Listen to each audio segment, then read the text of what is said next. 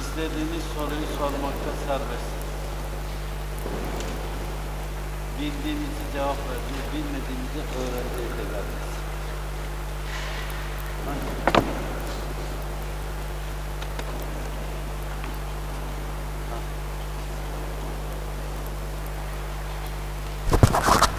Geldi. İstediğiniz soruyu sormakta serbestsiniz. Bilmediğimizi konuşacağız. Bildiğimizi konuşacağız, bilmediğimizi öğreneceğiz, geleceğiz. Ben bir soru sormak istiyorum. E, Mücadele nedir? Tasavvufi metot olarak e, bazı kesimler oturup Allah'ı zikretmeyi, e, bu hususta daha çok kendi içine dönmeyi, yolu içeriden ilerlemeyi önermişler ve talebelerini bu hususta çok böyle gayretten bir adım geri tutmuşlar. Bazı hususta da e, direkt olarak bu mesela Allah'ın zikrinin az olduğunu da söylerler burada ama mücadele yolunun daha keskin olduğunu söylerler. Bu hususta iki tasavvufi metot var. Bu çok önümüze çıkıyor. Birisi mücadele yolu. Bir tanesi de daha çok içsel anlamda oturup köşeye, inzivaya çekilme yolu. Bu hususta mücadele nedir? Ee, diğeriyle arasındaki fark nedir?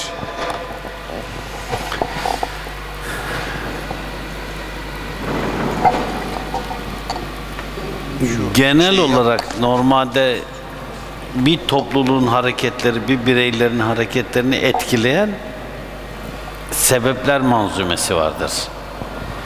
Bir şeyi de Cenab-ı Hak yaratırken ya hiçbir şey yokken bir şey yaratır ya da bir şeyin sebebi teşkil eder. Sebebi teşkil edince Cenab-ı Hak o sebebin üzerinden bir şeyi yaratır. Sebep teşkil etti çünkü. Dini hareketlere baktığımızda dini hareketler kendi yaşadıkları toplumda kendi sebepleri onları şekillendirir.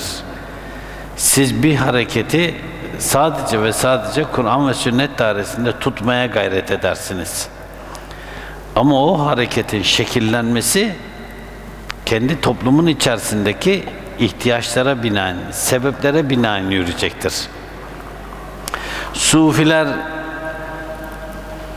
kendi yaşadıkları bölgelerde kendi yöntemlerini oluşturmazlarsa devşirme yöntemler, devşirme düşünce, devşirme yaşam tarzı, hayat standardı, devşirme din algısı bu sefer oraya uymayacaktır.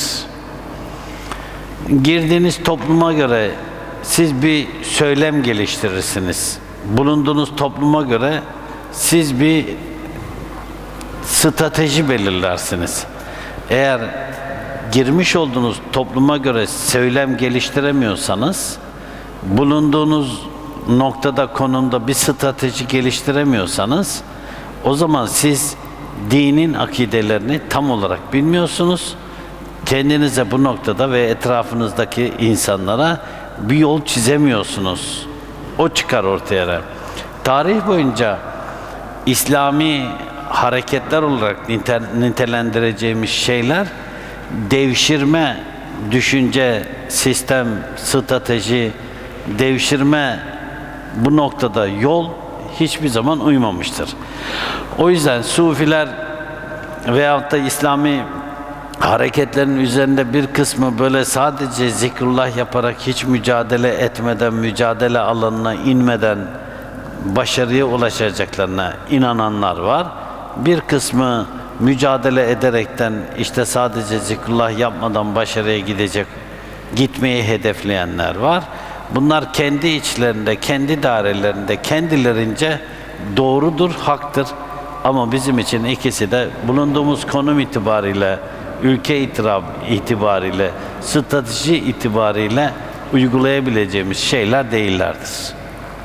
Biz her ikisini de uygulayanlardan değiliz. Yani biz mücadeleci değil miyiz? Ben sadece mücadeleci değilim. Eğer sadece mücadeleci olmuş olsam virt vermem kimseye örneğin. Hiç kimseye nefisle mücadeleyi, nefis teskiyesini öngörmem. Sadece zikrullahın üzerine koymuş olsam burada ne işimiz var ki? O zaman herkesin virdini veririm. Herkes evinde oturur, virdini çeker. Allah'a yakınlık yolu olarak kendisine onu bulur. Ben sadece onun da olduğuna inananlardan değilim. Bu konuda bizim benim kendimce gördüğüm kendimce iştihadım bende daha böyle farklı her şehre göre şehrin her bölgesine göre farklı e, stratejiler uygulamakta fayda görüyorum. Örneğin böyle bir sohbeti bir tek burada yapıyoruz. Gelibolu Mevlanesi'nde burada yapıyoruz böyle bir sohbeti. Başka bir yerde böyle bir sohbet mesela Bursa'da da Mevlane var. Bursa'daki Mevlane'de böyle bir sohbet yapmıyoruz. Veya şimdi yakın zamanda Afyon Mevlanesi'ne gidiyoruz. Afyon'da da böyle bir sohbet yapmıyoruz. E buranın stratejisi örneklemek gerekirse biraz üniversiteyle alakalı. E, üniversiteye yönelik, üniversiteli gençlere yönelik bir strateji olunca böyle sorulu cevaplı, üniversitedeki bir panel havasında gidiyor örneğin. O zaman bir tek stratejide kalmak strateji değil. Bir tek dairede, bir tek noktada kalmak benim nazarımda doğru değil. Siz bir köye gitseniz aynı şeyi anlatamazsınız. Veyahut da mesela bunu böyle bir kendi içimizde bir e, not olarak düşeyim. Mesela burada yaptığımızı bir başka yer uygulamaya kalksa, hayır uygulama orada. Bunun uygulaması mümkün değil derim. Bunun gibi. Bu bir strateji. E bu strateji oluşurken, oluşturulurken farklı etkenler, farklı sebepler, farklı anlayışlar ortaya çıkabilir. O yüzden Sufiler bu genel kaide kendilerini bir tek stratejiye bağlarlarsa hata yaparlar. Burada Hazreti Pir'in söylemiş olduğu sözü ben öyle anlıyorum. Ey oğul bağı çöz. Ne zamana kadar altına ve gümüşe bağlı kalacaksınız deyince ben bir kimsenin kendi stratejisini, kendi bölgesine, konumuna, durumuna göre geliştirememesini bir bağ olarak görüyorum. Örneğin Bursa'da, Bursa'yı burada taklit etmiyoruz biz. Bu da bizim bu noktada özgür bir noktada durduğumuzu gösteriyor zaten. Biz bir stratejiye kendimizi bağlamıyoruz. Ben bağlamıyorum kendimce. Bağı çöz deyince o zaman yani bu şey şuna benziyor. Bütün cemaati tek renk örtüye büründürmek, bütün cemaati tek renk mantoya büründürmek, bütün cemaati tek renk sarıya büründürmek, bütün cemaati tek renk işte takkiyeye büründürmek gibi bir şey oluyor. Çok gülüyorum öylesine. Kendi içimden. Bir topluluk olarak onları gördüğümde çok gülüyorum. Uy- uygun değil bence. Stratejik olarak e, bütün stratejinizi e, bir anda mı belirlediniz? Mesela buna örnek olarak işte ilk zikrullah'a kapadı, gözünüzü kapadığınızda e, bütün bir stadyum olarak e, Allah'ı zikrettiğini görmeniz ve bu hususta bu hayalinize doğru koşmanız. Genel anlamda en üst stratejiniz, e, en üst demeyeyim de stratejiniz bu ama anlık stratejilerinizi de o anda karşılaştığınız şeye göre mi belirliyorsunuz? Stratejinizi veya bir genç sufinin, bir üniversite öğrencisinin veya hayata bu noktada genç gözlüğüyle bakan bir sufinin stratejisini e, işte üstadı var, e, bir dergahı var, oradaki arkadaşları var. Neye göre belirlemesi gerekir? Nasıl bir hareket çizmesi gerekir? E, herkes mesela işte şunun kabzını yaşayanlar var. İşte ben onu o zikrullah'ta onu göremedim. İşte o zaman benden sufi olmaz. İşte gençlerin bu şekilde düşünceleri var. O zaman gençler e, düşünce dünyalarını, stratejilerini e, nasıl geliştirmeliler? Onlara ne tavsiye edersiniz? Çok hata yaparak.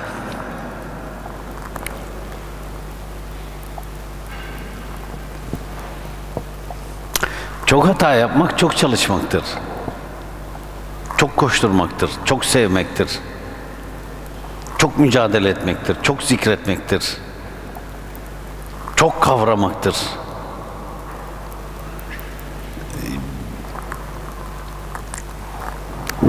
Ben şimdi şu tarafa bakayım.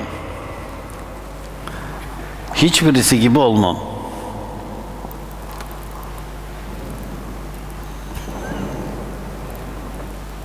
Hepsi de genç değil mi? Hepsi de civa gibi. Hiçbirisi gibi olmam. Onları küçümsemek için söylemiyorum. Ben gözleri çakmak çakmak zıpkın gibi bir kimse görmüyorum. Yırtacak, değiştirecek, parçalayacak, akacak. Ortalığı ayağa kaldıracak. Görmüyorum.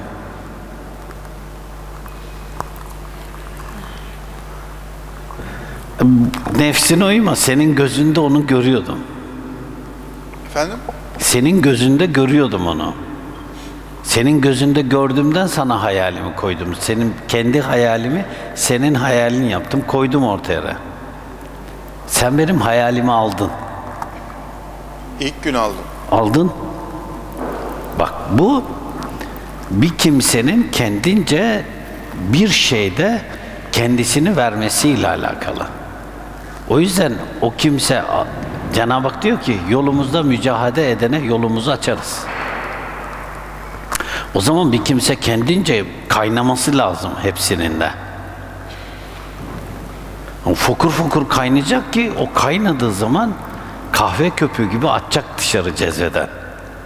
Cezveden dışarı akmıyorsa yok o kahve tat da vermez. Ben kahve yapıyorum kendime. Onun fokurdamasını istiyorum ben. Fokurdayacak, fokurdarken de fokurdaması fazlayacak. Taşmaya başlayınca ben onu fincanın içerisine koyuyorum. Diyorum ki taşması lazım. Onun taşması için bir kocaman kahve içiyorum ben. Taşmayan, fokurdamayan bir şey beni heyecanlandırmıyor. O zaman gençler dediğinizde genç fokurdayan bir kimsedir. Durmamalı durduğu yerde. Zorlamalı. Seni zorlayamıyorlar.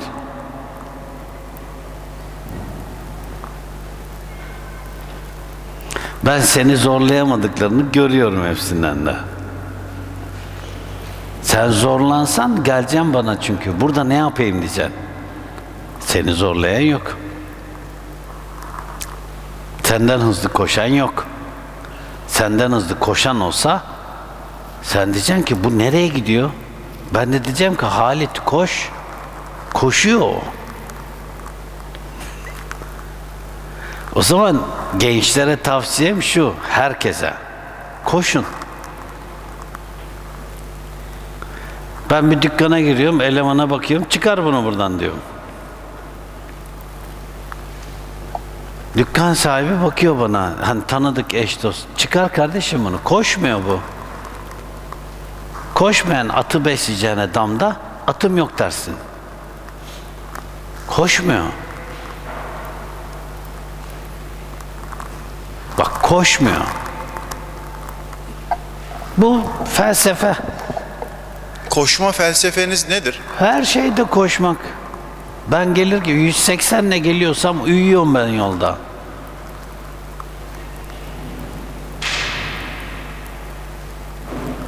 İşinde, aşında, eşinde, derganda, hayatında koşmak felsefesi olması lazım. Sabahleyin kalkar kalkmaz koşmaya hedeflemeli.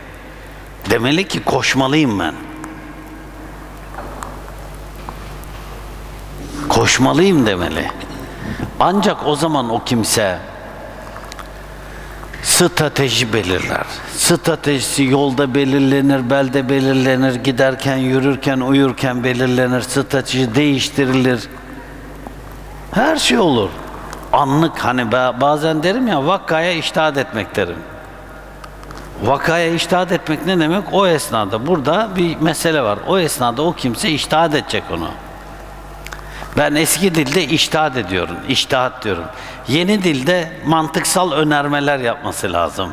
Kendince bir önerme yapacak. Bu konu var elimde, bu problem var, bu problemi nasıl aşarım, bu hende nasıl aşarım diye hemen ön, kendince bir mantıksal önerme yapıp yürümesi lazım. Mantıksal önerme yapamıyorsa kendince bu problem burada önünde duruyor, Bu o problem ona bakıyor, o probleme bakıyor. Ben hayatta yaşayamam öyle. Benim o problemi çözmem lazım. O problem benim önüme engelse benim onu ortadan kaldırmam lazım. Ben onu ortadan kaldırmadan rahat edemem.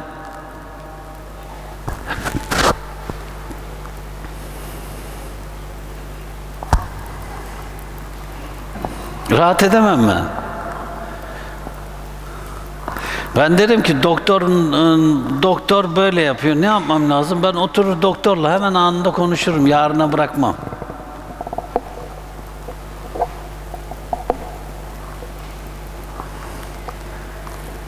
O zaman bir kimse mesela bu biraz ticaretin verdiği bir şey de belki de. Ben düz ticaret yapamam. Mesela bir kimse bir yerin bayiliğini alır, bayiliğine devam eder. Ben bakıyorum saf saf ona. Bana diyorlar bayilik verelim ticaret yaparken ben yapamam kardeşim diyorum. Beni cenderenin içerisine koyacaksın. Sen benim bayimsin diyeceksin. Acar bayili Ben onun bayisi değildim. Ortaktım ben. Hürdüm. istediğinizi alıp satabiliyordunuz. İstediğim yerden aldım. O ha. kardeşlere gitmiştik züccaciyede. Evet. Mesela orada yeni bir şeye beğenip Alırım anında. hemen aslında oraya gitme niyetiniz o değildi.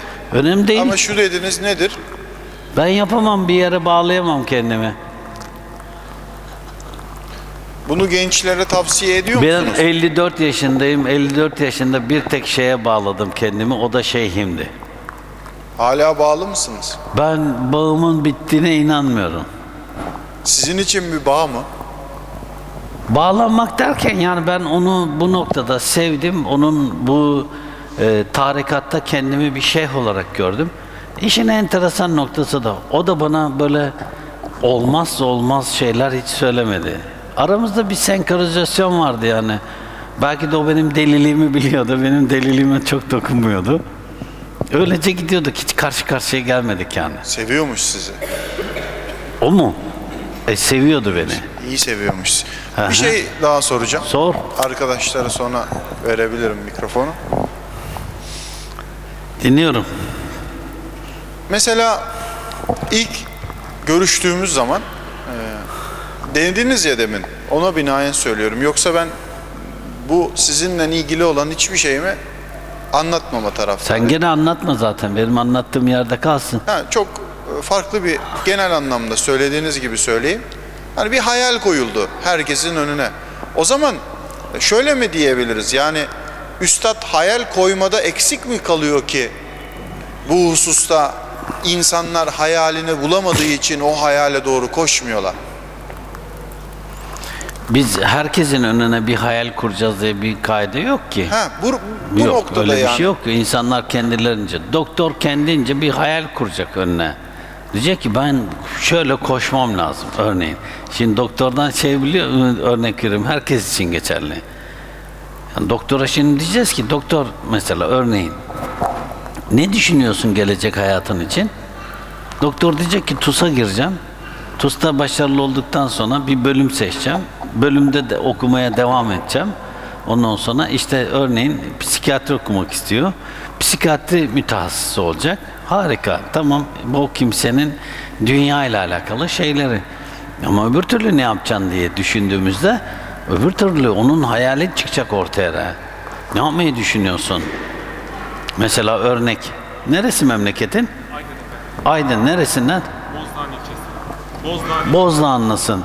Ne iş yapıyor ailen orada? ailem babam imam. Normal yine çiftçilikle de uğraşıyor. Çiftçilikle de uğraşıyor. Ne kadar var okulun bitmesine? Okulum bitti efendim. Okulun bitti. Ne yapıyorsun şimdi? Şimdi e, İstanbul'da öğretmen olarak çalışıyorum. Öğretmen olarak çalışıyorsun. Orada milleti toplayıp ders yaptırmayı düşündün mü hiç? Düşündüm. Ne yaptın? O noktada bir şey yapmadım. Seni zorlamak için değil. Otur. Anlatabildim mi? Yani bak zorlamak için değil. Ben İstanbul'a gideceğim. Dakika bir gol bir birisini bulurum orada.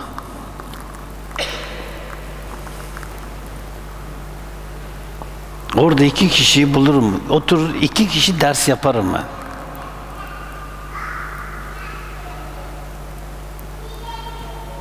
Ben yapamam onu. Bir perşembe ben bir kişisiz ders yapamam. Hiçbir şey bulamasam yövmeyle bir adamı tutarım. 3 saatliğine gel benim yanımda çalış derim ben. O da gelir 3 saatliğine. Ne yapacağız? Oturacağız zikredeceğiz derim. Al 50 lira yövmeye sana oturacağım zikredeceğim seninle derim.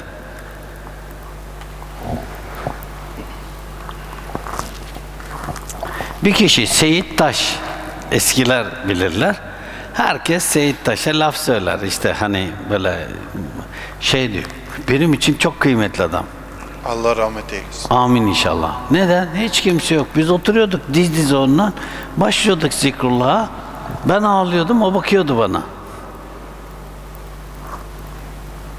Benim için büyük cevherdi o. Onun çarşı esnafı arkamdan şey bırakmış onu. Ne o? Ee, gözcü olarak bu nereye gidiyor takip et demişler. Bu takip ediyormuş. O arada da ben akşamüstü saat 4-5 işim bitince çarşıda, dükkanda Üftade Hazretlerine gidiyorum her gün. Ziyaret ediyorum. Orada tek başıma oturuyorum. Bağışlamayı yapıyorum. Başlıyorum tek başıma zikrullah yapma şeyde ne o kabri şerifin başında. Ben tabii şeyde zahir olarak tek kişiyim. Biz oturuyoruz ondan diz dize oradakilerle beraber toparlıyoruz, zikrullah yapıyoruz şimdi. Bu bir gün gelmiş, ondan sonra demiş ki çarşıdaki kimselere, herhalde orada yatan babası demiş, gidip orada ağlıyor boyuna demiş. Bunu sonradan söylüyor. Bu ertesi gün bir daha geliyor, ertesi gün bir daha bakıyor, gene ağlıyor orada. Bu dönmüş, ya demiş onun orada babası yatıyor herhalde demiş. Tanımıyor ya hiçbir şey. Babası yatıyor demiş herhalde. Her gün ziyaret ediyor demiş. Onun başında ağlıyor. Yani dertli yani bu adam. Sonradan bir hafta geçti. Böyle kom- dükkan komşusu ya. Kurban olayım dedi. Orada baban mı yatıyor dedi. Evet dedim ben. baban mı yatıyor dedi. Evet dedim ben. Kim o dedi. Aşkın babası o dedim. Kaldı bu. Söyleyecek laf yok. Ben yapamam mesela.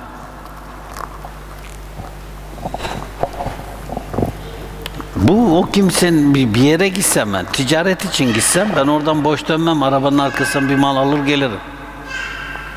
Bu kader mi insan bunu değiştirebilir mi? Ben bunu böyle bir hani cebri kader olarak görmüyorum. Bir kimse istidadını geliştirebilir. Bir kimse kendisini ben ona inananlardanım. Mesela babasız erken yaşta babasız kalmanız, Bunlar normalde ailenizin yükünün üstüne binmesi. abim de babasız kaldı. Hatta o daha da sorumluydu yani. Daha o da sorumlu. baba, o da sorumluluk isteyebilirdi, alabilirdi kendince. Babasız ölen bir tek ben, babasız kalan ben değilim. Babadan gelen sevgi olabilir mi bu mesela? Bunu ben normalde sebebi ne diye bakmıyorum. Ben sevmiyorum. Ben mesela böyle tuhaf kaçabilir şimdi kendimi çok konuşmak istemiyorum ama bir pazar gününü bütün gün evde geçiren bir adam nasıl olur bilmiyorum mesela.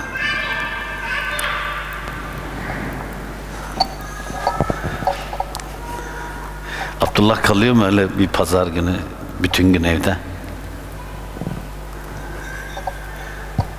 Orada orada duyacaksınız. tamam.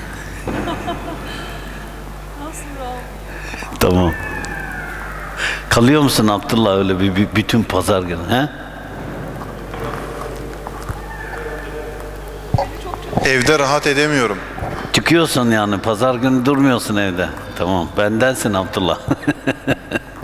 evet. Bu normalde e, yani bütün genç bayanlara da genç erkek arkadaşlara da bu sözüm.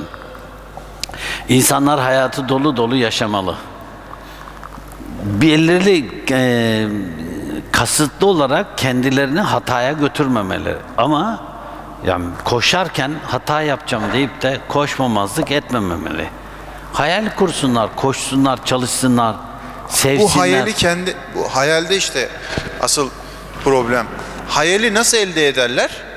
Hayal onlara bir üstü tarafından mı ikram yani edilir? hayali engellemeye çalışmasın. Neden engellesin yani? Bir hayal kursun kendine, koşsun hayaline doğru. Yok mesela bir, bir derviş, bir sufi kendi hayali belirli bir sınırdaysa daha iyi bilen olgun bir kişi gelip onun kulağına bir şey söylediğinde onun hayat görüşü değişebiliyor. Değişebilir. O, zaman mesela çok özür dilerim. İşte arkadaş eksiklik yapıyorsa ben bu bana verilen hayali tam olarak paylaştıramadığımdan dolayı ben mi eksiğim? Bu ben öyle eksiklik aramıyorum. Herkes burada şimdi. Bu, bu noktada biz ben hani kendimce kendi etrafımdaki insanları kısıtlayan bir kimse değilim. Ben herkese derim ki koşun. Koşun ders verin, zikrullah yaptırın. Bunun ne olacak ki? Ben birilerinin şeyh olmasından, zakir olmasından sıkıntı çekmem. Böyle bir sıkıntım olmaz benim. Dergahlarda böyle sıkıntılar vardır. Ben o sıkıntıları yaşamış insanım. O yüzden benim sıkıntım olmaz. Hepsi de şeyh olsun. Hepsi de zakir olsun. Zakire olsun. Desin ki bizim mahallede ben komşuları topluyorum 10 tane kadına hadis okuyacağım. Toplasın 10 tane kadına hadis okusun. Oturtursun 5 tane kadına zikrullah yaptırsın. Haydi bir mahalleden başka bir mahalleye gitsin. Koşsunlar, aksınlar. Her gün kuru fasulyeyi aynı şekilde pişirmesinler. Farklı kuru fasulye yöntemleri bulsunlar. Farklı yöntemler bulsunlar. Annelerini taklit etmesinler. Bulsunlar. Bir başkasının ben oh ne kadar güzel iyi bir şey bulmuşsun, iyi bir şey istişare etmişsin, iyi bir hayal yakalamışsın değil mi? Alkışlayayım, koşayım arkasından. Ben onun arkasından koşayım. Muhteşem bir şey. O hayalin arkasından koşarsınız. Koşarım. Koşarsın. Ben yeter ki birisi bir hayal kursun. Benim için onun hayalinin nereye gideceği önemli değil. Koşarım ben ona. Onun hayali için koşarım. Sıkıntı yok ki. Peki onun hayali Peygamber sallallahu aleyhi ve sellem hazretlerinin arz bir gün La ilahe illallah diyecek olan hayaline tezatsa Bu muhteşem hayaldir. Herkes bu hayal kendisine hayal etmeli mümin olarak. Bunun kendisine hayal ediyor da evde neden oturuyor o zaman? Bunu hayal ettiyse bir kimse evde neden oturuyor? Bunu hayal ettiyse o zaman o kimse neden gözyaşı dökmüyor? Neden çileye rağm olmuyor? Neden koşmaya rağm olmuyor? Onu hayallediyse o zaman en büyük hayali oysa geri kalan hepsi de teferruattan başka bir şey değildir. Neden teferruatları o zaman kendisine hedef seçiyor? O zaman hayal oysa o kimse o hayale koşması lazım. O hayal o hayale koşacaksa o zaman ne duruyor ki?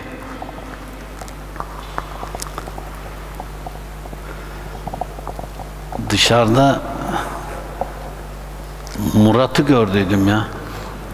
Semazen Murat. Dışarıda mı? Ha yukarıda. Murat semaya başladığında Gelibolu'da sema olacağını tahmin ediyor muydun hiç?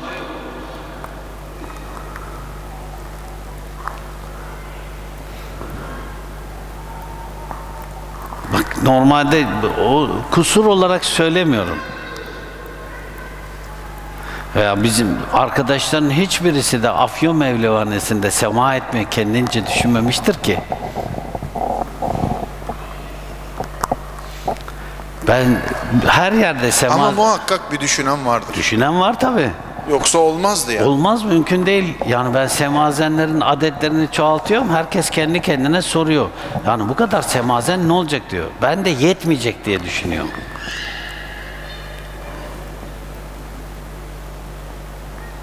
Adnan orada mı? Bence bunun üstünde de Orada bir... mı? Yok aşağıda değil mi? Yok şey yapma. Adnan'a diyorum Adnan kaç tane elbiseli semazen var? 160 diyor bana. Yetmez Adnan diyor.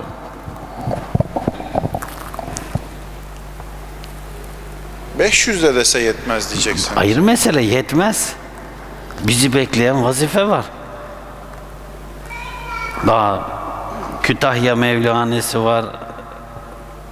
Daha Anadolu'daki Mevlaneler var. Selanik Mevlanesi var. Yıkılmış. Yaptıracak yer arıyorum. Filibe Mevlevanesi. Filibe Mevlanesini yaptılar. İşgal edilmiş. İşgal edilmiş. Mesela oturup konuşmuyoruz mu? Gitmemiz lazım oraya diyoruz. Öyle değil mi? Yani şimdi Filibe Mevlanesini kendine dert etmeyen bir kimse benimle koşabilir mi? Mesela Londra hayali kuruyorsunuz. New York, Londra. Kuruyorum. Londra'nın merkezine gideceğim. New York'un merkezine gideceğim. Gideceğim. Gideceğim.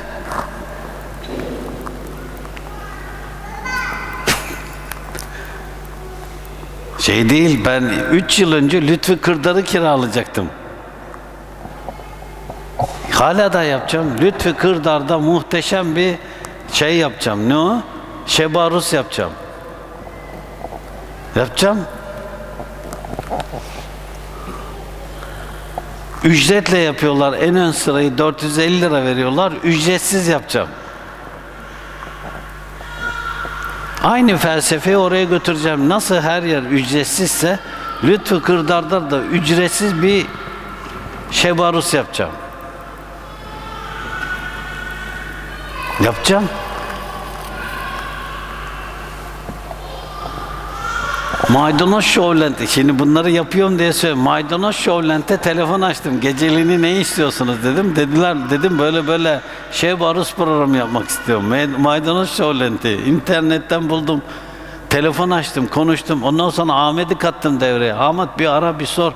Geceliğini kaç para istiyorlar, ne yapıyorlar, ne yapmak istiyor, ne, nasıl olacak diye. Maydanoz Showland'i küçük gördük sonra. Dedik ki İstanbul'a metrekaresini öğrendik, koltuk sayısını öğrendik, sahnesini öğrendik. Sadece moda ve tiyatro gösteriler için olabileceğine şey yaptık. Yok olmaz dedik biz. Abdi İpekçi'yi. İşte büyük bir yer lazım yapacağım. Gözüm açık gider derim. Öyle derler ya gözüm açık gider. Bu gösteri değil yani. Sufiliğin, tasavvufun Türkiye'de damgasını vurması lazım. Ben kurtuluşu onda görüyorum. Çünkü gelecekte dünya insanları, Türkiye zaten çok renkli, bütün dünya daha da renkli olacak. Ve herkes kendi rengini daha fazla meydana çıkarmaya başlayacak. Şimdi insanlar renklerini baskı rejimlerinden dolayı tam meydana çıkaramıyorlar. Renkler soluk. Ama önümüzdeki yıllarda insanlar daha da renklerini meydana çıkaracaklar. Bu rengarenk dünyada insanları bu noktada birbirlerinin renkleriyle savaşmaktan alıkoyacak olan bir tek inanış ve felsefe var. O da İslam'ın sufi standlığı, düşünme ve yaşanma. O zaman o kimsenin şimdi Osmanlı İmparatorluğu bunu becermiş, başarmış. Kürt, Türk, Çerkez, Laz, Boşnak, Hırvat birbirleriyle sataşmadan yaşamışlar. Birbirlerinin renklerini hiç itmemişler. Birbirleriyle evlenmişler, kız almışlar, kız vermişler. Hiçbir kimse birisinin kültürünü itelememiş. Aa boşnak böreği harika olur demiş. Arnavut yahnisi muhteşemdir demiş. İşte e, Kürtlerin on, Güneydoğu'da kebabı muhteşem demiş. Hiç kimse lahmacunu aa lahmacun dememiş ki. Ege bölgesinin keşkeğini kabul etmiş. Yer yeme, itmemiş hiç kimse. Kıyafetlerini itmemiş. Bu son dönem, son 100 yılın hastalığı insanların birbirlerinin renklerini kabul etmeyip itmesi. Sebep? Sebep bunda büyük uluslararası gücün insanlara bu etkiyi vermesine bağlıyorum. Bu milliyetçilik dediğimiz kavramın Bu milliyetçinin böyle hmm, vahşice alanı. Bir kimsenin kendi kavmini sevmesi kadar doğal bir şeysi olamaz. Ama bir başkasının kavminden kendini üstün görmesi doğal değildir. O yüzden ben renklerin canlanaraktan kendisinde hayat bulmasını istiyorum. Böyle bir şey olunca ki buraya doğru gidecek insanlar. Bir müddet sonra o kimse kendince boşnaklığını hatırlayacak. Boşnaklığını hatırlayınca ben boşnağım diyecek. Onun ben boşnağım demesini itmeden bizim kabul edip sen boşnaksın, öbürkü Hırvat, öbürkü Sırp, öbürkü işte Arnavut, öbürkü işte e, Çerkez, öbürkü Langazalı. Ben Langazalıyım diyor. Harika. Ne sıkıntım olacak ki? Karaferya diye bir yer duydun mu? Adam diyor ki ben Karaferyalıyım. Diyorum ne özelliği var? Biz iyi giyiniriz, iyi yeriz diyor. İyi eğleniriz diyor. Harika ya diyorum. Kaleferyalılardan kız almak lazım o zaman diyorum ben. Böyle duruyor şimdi. Neden diyor? Ya diyorum iyi giyinen, iyi eğlenen, iyi yiyen bir hanım demek evde, evde hayatın var olduğunu gösterir diyorum. Hayat var o zaman evde. İyi yemeyen, eğlenmeyen, iyi giyinmeyen bir kadını ne yapsın bir adam diyorum. Ya duruyor şimdi. Karaferyalılar bizim Bayındır'da var. Ya hiç böyle düşünmediydim diyor. Ya neden düşünmeyeceksin diyorum. Yani bir evde bir hanım var diyorum. Düşünebiliyor musun? İyi yiyor, iyi eğleniyor, iyi giyiniyor. Bir adam için başka ne lazım? Ne yapacak somurtan bir kadını Şey, eğlencesiz? çok şey lazım ama Oy! Gelin burada. yok Neredesin yok şimdi kız? arkada arkada. Böceği emziriyor. Ondan rahat konuşuyorum. Duymuyor mu? Sen mikrofonu eline aldın gene. Haydi bakalım.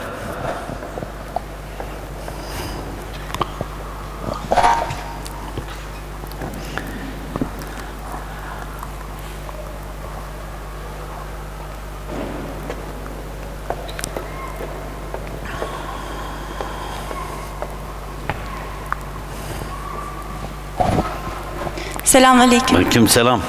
Ee, güvenlik maksatlı bir kimsenin yanında silah bulundurmasının hükmü nedir? Hiçbir şey anlamadım. Güvenlik amaçlı bir kimsenin yanında silah bulundurmasının hükmü.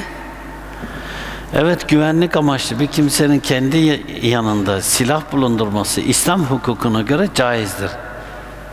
Yani bir bayanın şimdi bunu normalde kendince kendi güvenliğini sağlaması için bunun yapması normalde bugünkü hukuk sisteminde müsaade alaraktan yapabiliyorsa bunda bir sıkıntı yok ama tavsiye etmem.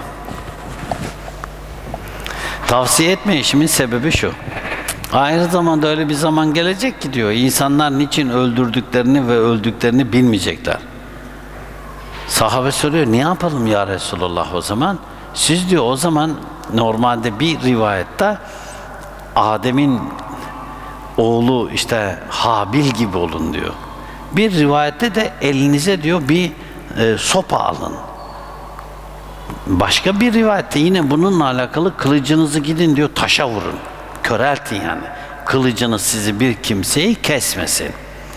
Burada Habil olmayı seçmek yani o kimsenin kendince kendi özgüvenliği ile alakalı silah bulandırmamak. Bu hakkı mı? Hakkı. Bak bu hakkı mı? Hakkı. Ama bunu Hazreti Peygamber sallallahu aleyhi ve sellem Hazretleri ahir zamanla alakalı böyle bir şart düşmüş. Yani ben bireysel silahlanmanın karşısındayım. Yani bu şey değil, çözüm değil. Bu konuda devletler kendi tebaalarının, halklarının can güvenliklerini, mal güvenliklerini, namus güvenliklerini, akıl ve din güvenliklerini sağlamakla mükellef, sağlamaları lazım. Bunun için de idam cezasının geri gelmesini istiyorum. 20 yıldan beri bunu söylüyorum. İdam geri gelmeli diyorum. Çünkü o güvenliği sağlayacak en önemli faktör. Bu beş tane önemli faktöre bir kimse bu beş önemli olguya tecavüz ediyorsa o kimse bu beş önemli olgudan dolayı idam edilmeli. Bir kimseye haksız yere bir kimse bir kimse öldürüyorsa öldürülmeli. Öldürülmeli ki o kimse hiç kimseyi öldürmesin. Bir kimsenin namusuna birisi namus emniyetini ortadan kaldırıyorsa, namusuna saldırıyorsa onun o öldürülmeli. Öldürülmeli ki kadınların da erkeklerin de namusları bu noktada emniyet altında olsun. Bir kimsenin akıl emniyetini bir kimse ortadan kaldırıyorsa, yani uyuşturucu e, ticaret yapıyor, uyuşturucu üretiyorsa, e, alkol üretip alkolü üretip alkolü satıyorsa ne yazık ki bu devlet eliyle oluyor şimdi. O kimse öldürülmeli. Neden? İnsanların akıl emniyetlerini alıyor. Bir kimse bir kimsenin dinini ifsad ediyorsa, din emniyetini ortadan kaldırıyorsa, ibadethanelere bomba atıyorsa, ibadethaneyi yakıyorsa, ister bu kilise olsun, ister havra olsun, ister cemevi olsun, isterse cami olsun, ister tekke olsun. İbadet han. Bir kimse ben burada ibadet ediyorum diyorsa hür bir şekilde ibadet etmeli ve onun ibadethanesine hiç kimse dokunmamalı. O zaman bir kimse bir ibadethaneye dokunuyorsa o kimsenin cezası ölüm olmalı. Denmeli ki sen camiye, medreseye, ondan sonra tekkeye, havraya, kiliseye dokunamazsın. Dokunma kardeşim. Bu o kimsenin din emniyetini almalı devlet. E bütün insanlar bireysel olarak silahlanırsa anarşi çıkar. Anarşi doğar. İslam da anarşiye karşıdır. İslam'da anarşi yoktur. Şimdi bunu böyle bugünkü mevcut hükümete itaat anlamında algılıyorlar. Siyaset yapıyorsun diyorlar. Ee, Müslümanlar hadis-i şerif var. Sizin başınıza kulağı kesik bir zenci de atansa yani zenci de gelse siz ona itaat edin der. Anarşiyi öngörmez. Anarşi yoktur. Siz kendi içerisinizde mücadele ederekten, koşturaraktan değiştirebilirsiniz. Ama anarşi üretemezsiniz. Bir Müslüman ben burada İslam'ı hakim et, edeceğim deyip de özür dilerim İslam'ı hakim edeceğim deyip de silahlanıp orada sivil insanları katledemez. Bu yok. Ya da bizim benim okuduğum İslam hukukunda yok, hadislerde yok.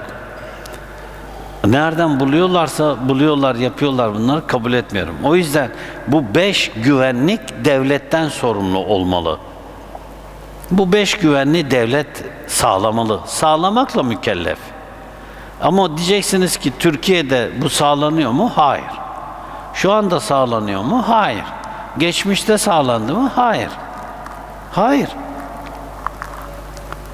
Bir tecavüzcü tecavüz ediyor bir kadına, öldürüyor üstüne, 10 yıl sonra dışarı çıkıyor.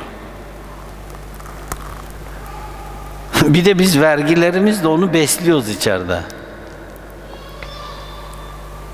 Vergilerimizle besliyoruz. Sıkıntılı. Evet. Hocam hoş geldiniz. Aydınlatıcı bilgileriniz için teşekkürler. İzninizle benim iki sorum olacak.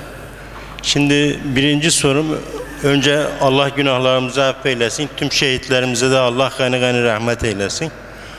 Hocam şimdi İranlı şairler Şirazi e, Sa- pardon Sa- Sadi'nin Bostanı Gülistanı var. Şeyh Sadi Bostan ve Gülistan. Evet. Şimdi Mevlana Celaleddin Rumi Hazretleri'nde mesnevisi var. Aşağı yukarı bunlar İslami nasihatler mahiyetindedir. Birbirlerinden örtüşen yönleri çoktur. Birbirlerinden etkilenmiş olabilirler mi? Bu bir. İkinci sorum da Allah tekrar günahımızı affeylesin. Şimdi bu Allah, bu Allah, bu Allah, bu Allah, bu Allah. Peygamber nerede? Peygamber bu ortada. Peki dünyayı değil, kainatı avuçlamışlar. Şimdi bu kainat buradaki sır yaratılış felsefesinde mi gizlidir? Hikmet nedir? Aydınlatın. Teşekkürler, sağ olun. İslam toplumu kendi içerisindeki değerlerinden birbirlerinden etkilenmesi kadar normal bir şey yoktur. O yüzden Şeyh Sadi'den, Şeyh Şirazi'den, ondan sonra Hazreti Mevlana'dan e, bu noktada hepsinin de birbirlerinden etkilenmesi, sonraki gelenlerin öncekilerden etkilenmesi, aynı dönemde yaşayanların birbirlerinden etkilenmesi kadar normal bir şey olmaz. Bu normalde İslam kültürünün kendince açık bir kültür olmasından kaynaklanıyor. Hatta bazen kızarlar ya yani işte bir dönemde batıdan bir sürü kitap geldi. Bunların hepsi de araştırılmadan, soruşturulmadan geldi. Böylece işte içeride ifsad edici, bozucu şeyler oldu derler. Ben onlara da katılmıyorum. Yani normalde e, şöyle görüyorum. E, İslam toplumu bütünüyle kültürel anlamda da eğitim anlamında da açık olmalı. Dışarıdan ne geliyorsa gelmeli elini kolunu sallaya sallaya. Biz onun içerisinden bize lazım olanı alıp lazım olmayanı bırakabiliriz. Bu ayrı bir mesele. O yüzden kültürler arasındaki birbirine geçişleri, inançlar arasında birbirine geçişleri gayet normal ve makul görüyorum. Yani normalde bunu Kur'an da zaten bize makul görüyor. Geçmiş toplumlara bakın, onlardan ders alın. Geçmiş peygamberlerin hayatlarını inceleyin, onlardan ders alın. Hatta Hazreti Peygamber'e buyuruyor, geçmiş peygamberlerin kıssalarını anlat diyor. Onlara söyle. Böylece geçmiş peygamberlerin ve toplumların yaşamış olduğu kültürleri, kültür değerleri birbirlerine geçişkenlik olması gayet normal bir şey. Yani ben İslam'ı algılarken dar, böyle belirli bir dairede kalmış, içine kapanmış, hiçbir kültürle diyaloğu olmayan, hiçbir insanlarla diyaloğu olmayan bir inanç felsefesi, bir inanç dini olarak görmüyorum. İslam bu noktada e, kendi içerisinde çok renkli, çok sesli olabilir. Bu noktada öyle olmalı ve iştahat kapısı da bu noktada açık. İştahat kapısının da sonuna kadar açık olmalı ve insanlar yeni şeylerle yeni şeyleri iştahat etmeli. Bu konuda fikir üretmeli. O yüzden sadece geçmişe de bağlı kalmamalı. Kendi zamanına da bakmalı. Kendi zamanına bakaraktan daha ileriye yönelik kendince projeler geliştirmeli. İslam dünyasının en büyük şu anda handikaplarından birisi ileriye yönelik kendisine proje geliştirememesi. Yani İslam dünyası 20 yıl sonrasını, 30 yıl sonrasını bir proje geliştirmekte şu anda uzak. Acı bir şey bu. Biz yani 20 yıl sonra gençlerimize ne vereceğimize, ne ile eğiteceğimizi, 30 yıl sonra gençlerimize ne vereceğimizi, ne eğiteceğimizi, 30 yıl sonraki aile yapısının nasıl olması gerektiğini ve bu konuda ne yapmamız gerektiğini, 30 yıl sonra iş dünyasının, ticaret dünyasının, ne bileyim devletin nasıl yapılanma içerisinde olması gerektiğine dair bir projemiz yok. Yani İslami entelektüel alimler dediğimiz kimseler toplanıp 100 yıl sonra İslam dünyasının gelecek olduğu şey bu olmalı, bu hedefe koşmalı diye bir hedefledikleri bir şey yok. Bu işin tabi İslam dünyası açısından en büyük handikaplarından bunu yok dışarıdan şöyle yaptılar, yok içeriden böyle yaptılar deyip de bahaneler üretmek işin bahanesi. Sen ne yaptın diye buna bakıp ben ne yaptım diye buna bakıp bu noktadan yürümemiz lazım. O yüzden e, Hazreti Mevlana'nın Mevlana'dan, Şeyh Sirazi'nin, Şeyh Sadi'den, Mevlana'dan önceki zatların ve Mevlana'dan sonraki zatların birbirlerinden etkilenmesi gayet normal ve doğal bir şey. Geri kalan şey varlıkla alakalı üzerinde bütün herkes bir şey söylemiş. Varlığın üzerinde herkes kendince bir şey söylemiş. Ben varlıkla alakalı söylenen şeylerin hepsini de kabul etmekle beraber Hz. Peygamber sallallahu aleyhi ve sellem Hazretleri'nin hadisi kutsisini kendime ölçü ediyorum. Çünkü bu tartışmayı senin varlık düşüncen, benim varlık düşüncemi ortadan kaldırıyor. Hiçbir şey Allah bilinmez idi, bilinmekli istedi bir şey yarattı. Bitti. Benim için varlıkla alakalı meselenin üzerinde en keskin, en kati benim durduğum nokta bu. Bunun diğerleri yani bu varlığın üzerinde söylenen bütün sözler bunun açılımı. Müteşabih bir mesele. Müteşabih bir mesele olunca herkes bunu kendince anlayıp işte Arabi bütün varlığı kendince bir rüya, bir hayal olarak görmüş. İşte Hazreti Mevlana bütün varlığı hayal üzerinde yürür gör demiş. Kimisi bütün varlığı cismani olarak görmüş. Kimisi bütün varlığı hayali olarak görmüş. Bunların hepsinde kendilerine ait. Bunların üzerinde bu doğrudur deyip bu doğruyu birisine dayatmak da benim İslam inanışıma ve Sufi felsefeme uygun değil. Bu noktada bir kimse Kur'an ve sünnet içerisinde bir şey düşünüyorsa, bir şey söylüyorsa kendi düşüncesidir. Açıklaması lazım, söylemesi lazım. Ben kabul ederim, kabul etmem. Bu herkesin kendine aittir. Ama varlıkla alakalı mesele bu hadisi kutsi herkesce biliniyor. Allah bilinmez idi bilinmekli istedi bir şey yarattı. Yarattığı şeyi sufiler e, ve bunu da normalde fıkıhçılar da aynı şekilde noktada bakarlar. Kelamcıların da bir kısmı öyle baktılar, bakarlar. Yarattığı şey Hz. Muhammed Mustafa'nın ruhaniyeti ve nuraniyetidir.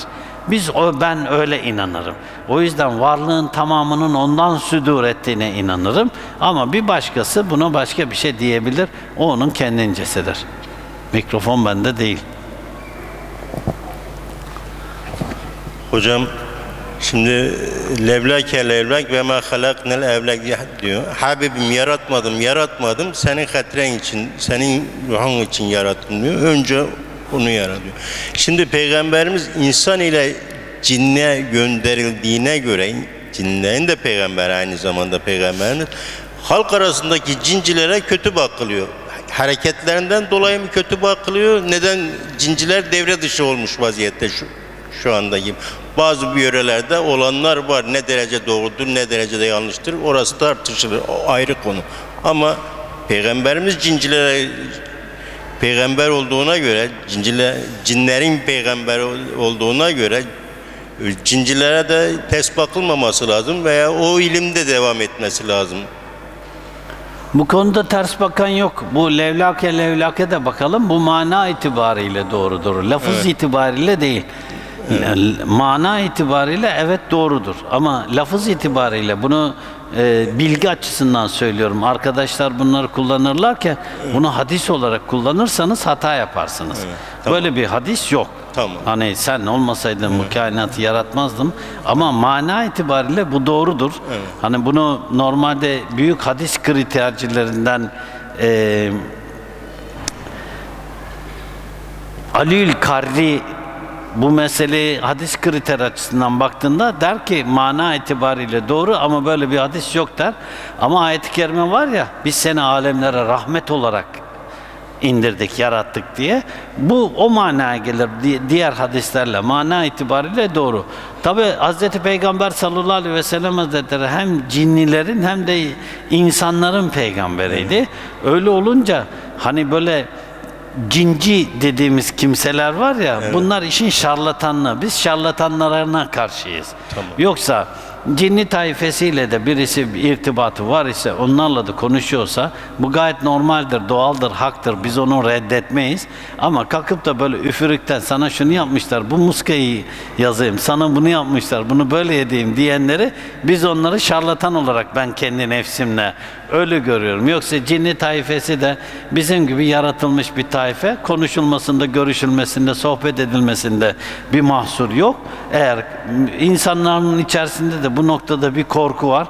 Şimdi burada bir tane cinni görseler burada bir tane kalmaz. Halbuki hiç alakası yok. Gayet iyi varlıklardır Müslümanları, müminleri. Konuşulur, sohbet edilir, muhabbet edilir. Bir sıkıntı yok. Hocam peygamberimizin cansız varlıklarla ilişkisi nedir? cansız bir varlık diye bir şey yoktur. Bütün varlıkta can vardır, bütün varlıkta da ruh vardır. O yüzden cansız varlık e, düşüncesi yok bende. Peki teşekkürler, saygılar. Selamünaleyküm efendim. Aleykümselam. Bütün müminlere iştihat kapısı açık mıdır yoksa belirli kişilere mi açıktır bu? Tüm Tüm müminlere. Bilginlere, Müminlere. müminlere, evet. E bir kimse bu konuda bir bilgisi varsa, o bilgide ehliyetliyse iştihat kapısı açıktır. Her konuda iştihat kapısının açık olması gerekir. Sadece dini ilimlerle alakalı değil. İşte doktor psikoloji okuyacak, psikolojide de iştihat kapısının açık olması lazım. Yani evet profesörler ona belli bir eğitim verecekler. O belli bir eğitim aldıktan sonra kendisinin o güne kadar yapıla gelen tedavilerin dışında bir tedavi üretmesi gerekir.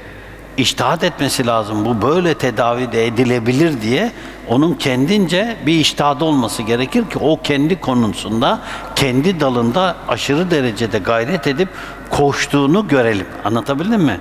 Eğer normal bu kapı açık olmalı veya bir hadisçi de kendince iştihat etmeli. Hadis kriterleri açısından veyahut da bir fıkıhçı kendince fıkıh edebilmeli fıkıh kriterleri açısından. O yüzden ben iştihadı belirli bir zümreye bağlayanlardan değilim. Peki e, yanlışa düşerse bir şey iştihat etti Hadis-i ama yanlışa şerifte, düştü. hadis-i şerif Hazreti Peygamber sallallahu aleyhi ve sellem Hazretleri bu konuda bizi cesaretlendiriyor. Bir kimse iştahat eder, isabet ettirirse 10 sevap alır, isabet ettiremezse bir sevap alır diyor. Bizi düşünmeye, aklımızı zorlamaya, bir konuda çok çalışmaya, kılı kırk yarmaya bizi sevk ediyor. Sen kendi konunda, kendi dalında kılı kırk yar. Bir şeyde hani az önce hata yap dedim ya. Hani bir sözün başında hata yapın dedim. Hata yapmak ne demek? Bir şeyde düşündü, iştahat etti, hata etti. Ne kadar güzel o meselede düşündü ama çalıştı, çabaladı. Yani işte hiç kuru fasulye pişirmeyen bir bayan var mı? Herkes pişirdi mi kuru fasulye burada? Sen pişirmedin. Harikasın kızım. Hiç pişirmedin değil mi? Şimdi hiç pişirmemiş. Normalde o şimdi kendisi duyma haberlerle kuru fasulye pişirmeye kalktı. Hata yaptı. Açık. O hata yaptığı zaman bir sevap aldı. Ama mevcut bilgiler ışığında bir kuru fasulye yaptı. Muhteşem oldu. 10 sevap aldı. Şimdi onu kuru fasulye pişirmekten men edecek hiçbir şey yok. Örnek. Efendim e, iki kişi bir konuyu iştahat etti fakat çatışıyorlar. Burada Bu kimse kendi bireysel alanını ilgilendiren bir şeyse kendi bireysel alanıdır. Bireysel alanını ilgilendirmiyorsa bu grubu ilgilendiren bir şeyse o. Bunun istişare edilmesi lazım o zaman. Bu farklı. Benim kendi bireysel alanım. Ben bunu kendim kendi kendime iştahat edebilirim bir şeyi. Öyle yapmam lazım zaten. Ben bireysem, bir kimlik taşıyorsam kendimi ilgilendiren bir şeyde ben kendim iştahat etmeliyim. Ben kendim kendimce demeliyim ki bu benim için doğru. Ama doktor için doğru olmayabilir. Ben doktora göre ben psikolojik psikolojik problemler olan bir kimseyim ama ben kendimce iyiyim. Doktora soruyorum doktor benim durumum ne diyor ben normal değil diyor. Hemen ilaç tedavisine başlamamız lazım diyor. Bak onun durduğu yerden doğru mu bu? Doğru. Ben ona hayır ben böyle değilim dedim mi hiç sana? Demedim hiç. Mevcut bilgiye göre yalnız. Tamam mevcut bilgiye göre. Mevcut bilgiye göre diyor ki benim aldığım tıp eğitimine göre senin no- durumun normal değil sen ilaçlıksın diyor. Yani gelsen diyor bizim okula diyor okulda diyor e, şeyde hastanede diyor senin bu konuşmalarını görseler profesörler diyor direkt seni yatırırlar bile hastaneye diyor. Rapor alırsın. Rapor alırım değil mi kesin? Direkt. Gelsen bir rapor alsan bana 46'lık diye. Rahat alırsın. Rahat alır mıyım? Ne diyeceğim orada? Normal konuşsanız yeter. Normal konuşsam yeter. Geceki sohbetten biraz, Dün gecekinden. gecekinden biraz bahsedin. bir sorum daha olacak. Sor. Bu soruya bina- binaen e, kişi doğrusunu nasıl oluşturur? Bu Sufi okulunda okuyan kişi Bir doğrusunu kimse nasıl oluşturur? asla kendi doğrusunu oluşturamaz. Kendi doğrusuna ulaşamaz. Bu noktada bir kimsenin bireysel noktada kendi doğrusu hep görecelidir. Hep değişkendir ki. Bir kazığa bağlama kendini. Yani başkasının doğrusu değil. Ya örnek veriyorum e, efendim. Şimdi doktor abinin bir doğrusu var. Bir konu üzerinde meşgul oluyor. Doktor abinin bir doğrusu var. Yusuf abinin de bir doğrusu var. Ama ikisi aynı değil. Değil. Gayet Ama güzel. çatışıyor bazen. Yok çatışmaz. Bireysel noktalarda çatışma yoktur. Olmaması gerekir. Yusuf'la doktor birbirlerinin renklerini kabul edecekler. Yok. Ortada öyle bir şey yok da ben öyle diyorum. yani. Örnek ben de öyle örnekliyorum zaten. Birbirlerinin renklerini kabul edecekler. Bu kültür bizde kaybolmuş ortadan. Biz kendi rengimizi onun üzerine bastırıyoruz. Kendi rengimizi dayatıyoruz. Biz ailelerden aldığımız eğitim bu. Baba geliyor ve rengini koyuyor ortaya evde. Baba evden gidiyor, kadın çıkıyor ortaya. O rengini koyuyor ortaya. Çocuklar aptal. Bir babaya, bir anneye bakıyorlar. Baba ve anne evde herkesin rengini hür bir şekilde bırakmıyor. Aile içi- içerisinde başlıyor bu. Daha ilk çocuk doğacak, ismini ben koyacağım diyor. Hiçbir erkek gördün mü hanımına ismini sen koy, istediğin ismi koyarız diye? Yok. Bir de ayrışmış toplumda erkeğe baba koyar, kıza anne koyar. Lan ne alakası var? Bırak o kadının da istediği bir isim varsa koysun. Bir de daha ağır var. Kimse koymuyor, dedeye gidiyor çocuk. Kim koyacak? Dedesi koyacak. Sebep? Sebep? Dedesi koyacak. Sebep? Sebep? Bak bu bir rengin baskınlığı çıkıyor ortaya. Anlatabildim mi? Bu kültür oturmuş bizde. Oturulunca biz doktora ben kendi rengimi dayatmaya çalışıyorum. Ya elleme adamın kendi rengi olacak. Kendi rengini yaşasın. Adamın sabah kahvaltı keyfi var. İstediği gibi yapsın. Bana ne? O da bana karışmasın. Bana demesin sabahleyin sen cartlak yapabileceksin, ciğer yiyeceksin diye. Benim kültürüm değil. Ama Antep'e gidince hoşuma gider mi? Evet. Kilise gidince hoşuma gider mi? Evet. Urfa'ya gidince orada hoşuma gider mi? Evet. Ben derim ki Antep'te ne yenmesi lazım sabahleyin? Beyran çorbasıyla katmer. Harika. Antep'te yerim onu. Giderim han böyle sabahleyin millet sanki hiç evinde ekmek yemek bulmamış gibi beyrancının önünde kuyruk var. Kaynak kaynak getiriyor. Maşayla getiriyor bir de onu. Bildiğiniz maşa, demir maşasından getiriyor önüne koyuyor, kaynıyor daha önünde. Antepliler sanki böyle dondurma yer gibi böyle yiyorlar onu. Sen yiyemiyorsun. Adamlar böyle e, şey yapmışlar, ne o? E, otomatiğe almışlar. Beyran çorbası, katmer yanında. Oradan çıkıyor, yürüyerekten gidiyor. Orada en yakın, orada bir şey var. E, han, bir çarşı var. Çarşının içerisinde sabah kahvaltısında baklava yiyor.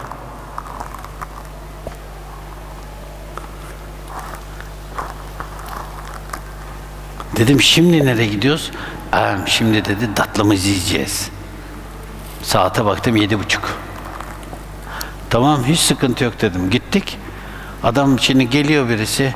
Üç habbe diyor. Üç habbe. Yani üç dilim. Dilim demiyor. Habbe. Üç habbe. iki habbe. Dört habbe. Dedi sana kaç habbe söyleyeyim? Vallahi kafana göre takıl dedim ben. Koyverdim yakasını dedim. Sen teki seversin dedi. Bak sufiliği koyuyor araya. Üç habbe. Onu yiyor adam. Normal bak. Şimdi o rengini dayatırsa bir başkasına bu olmadı. Benim az önce sohbetin başında dünya kültürlerinin, renklerinin çoğalması, parlaması gerektiğini, insanların dünya kültür açısından birbirlerine kültürlerini dayatmamaları, renklerini dayatmamaları gerektiğini, bunun da ancak sufilikle mümkün olduğunu söylememin sebebi bu. Ama tavsiye ederim Antep'e giderseniz sabahleyin gidin bir beyran çorbası için yanında katmerle beraber. Ondan sonra da muhakkak gidin üç habbe baklava yiyin. Evet. Efendim hayal konusuyla ilgili olarak mesela bir kimse e, analizini yanlış yapıyor, hayalini yanlış kuruyor ve yanlış oldu yani kötüye sevk, sevk ediyor onu o hayal ama farkında değil. Bu noktada ne yapmalı? Burada bunu sınırlayacak tek bir şey var, haram. Ne kadar hayal kurgularsa kurgulasın, haramı bulaştırmayacak hayaline dahi. Yani o hayali kurgularken kendi üzerinde bir şey kurguluyor. Bir yol kurguluyor. Kendi üzerine bir evlilik kurguluyor. Bir iş kurguluyor. Kendi üzerine hayal ediyor. Bu çok güzel bir şey. Harika bu. Muhteşem bir şey bu. Ya mesela ablana soruyordum yani ne okumak istiyorsun? İşte İngilizce dili diyordu. Öyle değil mi? Hayal kurmuş mesela. Harika bir şey. Ben işte çalış koştur muhakkak Hatta hayaline hayal kattım. Dedim ki muhakkak Çanakkale'ye gel. Çanakkale'de oku dedim. Bak hayale hayal katıyoruz şimdi. İşte burada. Anlatabildim mi yani? Burada bir kimse kendisine hayal koyar, kurarken, hedef koyarken haramla iştigal etmeyecek. Hayaline haramı bulaştırmayacak. En önemli şey bu. Ve o hayali haram değil, kendince kendisine doğru mu? Evet. Koşacak ona. Sıkıntı yok bunda. Yolda lastik patladı. Hayalden geri dönmek yok. Lastiği tamir ettirecek. Bir daha patladı. Bir daha tamir ettirecek. Bir daha inmiş bir daha. Ya bu cantında bir şey var diyecek. Cantına baktıracak. Geri dönüş yok orada. Anlatabildim mi yani? Bir kim hani ayet-i kerime var ya bir şeye diyor bir şeye karar verdin mi istişare ettin, karar verdinse diyor, oradan geri dönme. Ayet-i kerime çok açık. Bir şeyi istişare ettin. Bir şeyi istişare ettin, hayal kurdun. Eksiğini, fazlasını, osunu, busunu düşündün. Ve dedin ki tamam benim yolum bu. Oradan diyor geri dönme ayeti kerimede. Bir şeye karar verdin, doğru mu doğru. Oradan geri dönme diyor. Burası çok önemli bir şey. Bütün gençler için, bütün herkes için önemli. Ticaret yapan, memurluk yapan, bir yerde çalışan, ne bileyim öğrencilik yapan, hayat hayata bakan, evlenen, evlenecek olan herkes için geçerli bu. Bir şeye oturdun, konuştun kendince. Dedin ki işte ben bununla evleneceğim. Harika altını üstünü yanını sağını solunu baktın bu diyeceksin dedin ki benim eşim olabilir. Koş ona. Bak ona koş. Hiçbir sıkıntı yok. Ben bazen derim ya evlenecek olanlara hayalini kurgulamış harika. Çok basit bir şey söylerim. Evini kurdun mu? Yani evleneceksin ya. Hedefini kurmuşsun. Al verdim şimdi kızı diyorum. Nereye götüreceğim? Bakıyor şimdi bana. Oğlum seviyorum demedin mi? Dedin. Evlenmeyecek misin? Evet. Al şimdi veriyorum sana. Duruyor.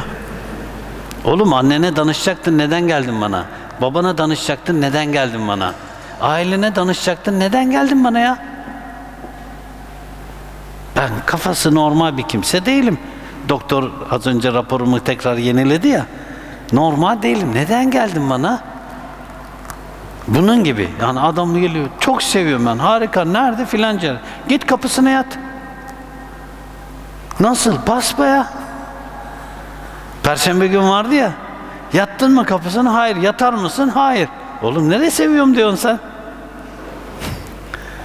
Bir de biz, biz bir de bizde. O yüzden normalde bir kimse bir şeye ben bu hayal derken onu bir hedef olarak görüyorum.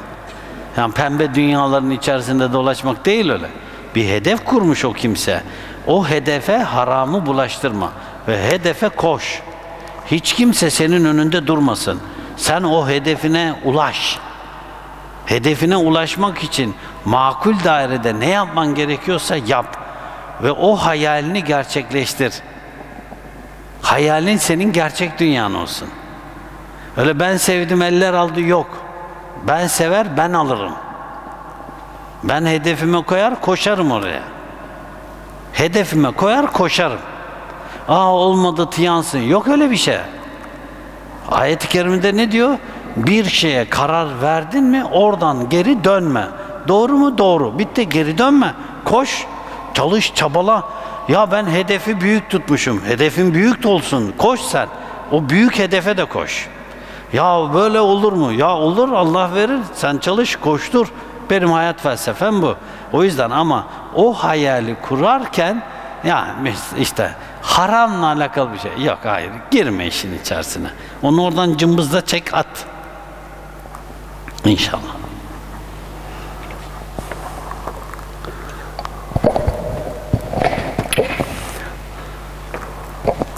Efendim selamünaleyküm.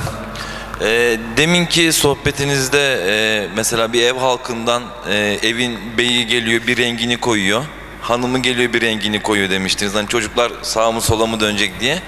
Şimdi bu rengini koyma sınırı Kur'an ve sünnet ne olmalı? Mesela Kur'an şimdi, sünnet olacak. Mesela şimdi e, bir babanın evladı üzerinde e, güzel bir isim koyma. Kur'an sünnet dairesinde.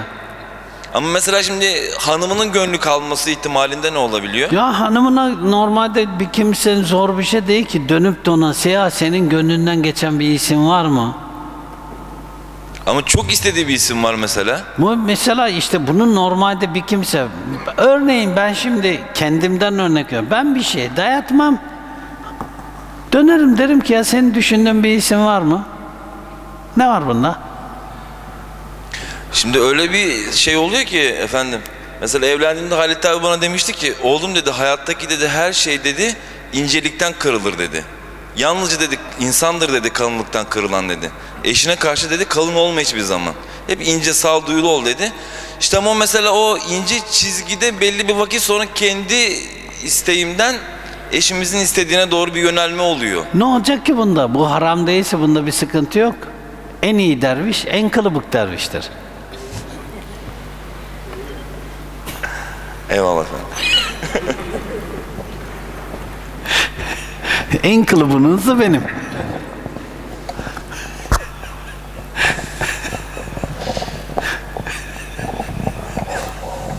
Sen nereye geldiğin farkında değilsin. Biz böyle çok sert gelenleri kılıbık yapıyoruz diye. Sakin ol ya dur. Gerek yok. Desek de inanma. Şimdi İslami sistemi yani İslam sistemini bir devlet sistemi olarak düşünmeye çalışsak olmuyor. Hazreti Peygamber sallallahu aleyhi ve sellem hazretleri dedi ki e, İslam bir garip dinidir, gariplerin dinidir. Bir parantez açayım buraya. Enternasyonel bir devlet sistemi olması çok zor. Evet devam et. Çünkü mesela şu anda bir AVM var. Bu toplumumuzun artık kaçınılmaz bir gerçeği yani var. Biz gitmiyoruz ama AVM var yani. Çok direniyoruz. Ee, arkadaşlara bu noktada gitmeyin diyoruz. Fakat bir AVM var. Ee, bu bir hayatın, bir devletin gerçeği. Devlet buna şu gözle bakamaz. Ya AVM İslam fıtratına ve e, şeyine uygun değil. Ama AVM'nin de üzerinde bir içtihat gerekli. Oysa İslam alimleri daha AVM'nin üzerinde içtihat etmeye ve onu konuşmakta çok geriler. Ve bu hususla her gün dünyada bir yenilik olurken İslam kendini koruma adına bu noktada yeniliklere açık olmuyor. Bu bu noktada İslam bir devlet dini veya yeryüzüne hakim olma noktasında eksiklikler mi yaşıyor yoksa bunun bir tedavisi var mı? İştihatla alakalı sıkıntılar var. Bir, bir de bir topluma bir şey girerken, bir topluma bir şey girerken bu Batı dünyasının vahşiliğinden kaynaklanıyor. Yani Batı dünyası karşıdaki toplumun hassasiyetlerini gözetmeksizin yıkaraktan giriyor. Tabiri caizse yararaktan, yırtaraktan giriyor. Batı toplumunda kapitalist sistemin böyle bir olgusu var. Vahşi kendisi. Vahşi. Vahşi olunca karşıdaki kimsenin hassasiyetlerini, karşıdaki kimsenin kültürünü, rengini hiç böyle gözünün önüne koymadan vahşi bir şekilde yıkıyor. İslam toplumunun ritmik olarak ona karşı göğsünü siper etmesi, dur demesi normal. Ona bir şey geliştirmeden hani bir hmm, e, bir pozisyon almadan direkt reddediyor önce. Direkt reddediyor. Direkt reddediyor ama bu Batı toplumunun kapitalist sistemin vahşetinden kaynaklanıyor. Bizim bu noktadaki alışverişteki alışverişteki ölçülerimizi, alışverişteki hassasiyetlerimizi önemsemiyor. Bu sonradan değişmeye başladı. Mesela Türkiye'ye AVM'ler ilk girdiğinde bir tek çatı altındaydı. Herkes her şeyi bir patrondan alıyordu. Şimdi ilkini hatırlayın. Sonradan büyüttüler. Büyüterekten dükkanlar kurdular. Dükkanlar kuraraktan dükkanlara orayı kiralara vermeye başladılar. Dükkan kiraya vermeye başladılar. Adını da dükkan dediler. Neden adına dükkan dediler? Bizim dilimizi kullandılar. Çünkü toplum ritmik olarak ona bir cevap verdi.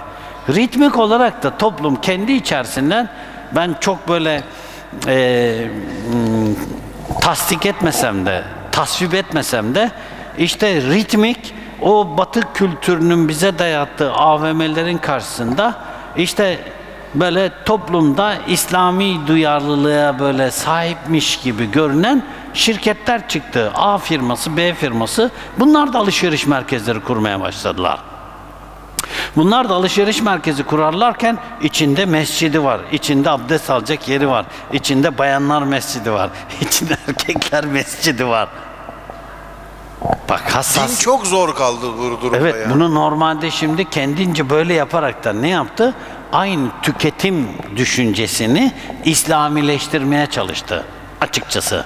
Beni sevmiyorlar ya o yüzden de. İslamileştirmeye çalıştı. Burada normalde Bu farklı bir yolu yok mu mesela? bunun işte Örnek olarak. ama normalde e, şu var mesela İslam toplumu çarşıyı bir yere toplamış. Bunlar da aynı şeyi yapmışlar. Bunlar da aynı şey yapıyor ama ilk giriş noktası vahşice dedim ya o yüzden. Yani gelselerdi mesela örneğin Çanakkale'nin bir yerine 500 tane, 300 tane, 100 tane dükkanı toplayacak bir çatı kursalardı bunda bir sıkıntı yoktu ki. Herkes kabul ederdi bunu. Bu çatıyı kurarken toplumun temel ihtiyaçlarını karşılayacak. Mescittir, abdest almadır, tuvalettir. Bunlar temel ihtiyaçları. O kimsenin dini duyarlılığına cevap veren, dini duyarlılığını önde tutan, kendi kültürünü önde tutan, kültürünü önde tutan. Mesela ilk zamanlar kurban kesiyorlardı, kimse kurban kestirmedi. Sonradan dediler ki herkes kendi hayvanının başında durabilir. Bakın normalde önceden hayvanı dahi görmüyordu kimse. Kurbanın oldu paketledi veriyorlardı senin eline. Hiç kimse kesmedi. Dini hassasiyeti var. Ne yaptı? Ondan sonra dediler ki elinde numara var. Kaç? 378. 378 ne olur? Kurban bu. Kulağında da 378 yazıyor. O kimse fişini aldı başında bekliyor. Kurbanını kestirecek. Bu bizim toplumumuzun hassasiyeti. Ondan sonra orada kurban kesilme arttı. Ondan önce artmadı. O hassasiyete bakmıyor. Diyor ki sen bana yazıl kurbanı ben senin etinin adresine göndereceğim. Ya bu adam et için kurban kesmiyor ki.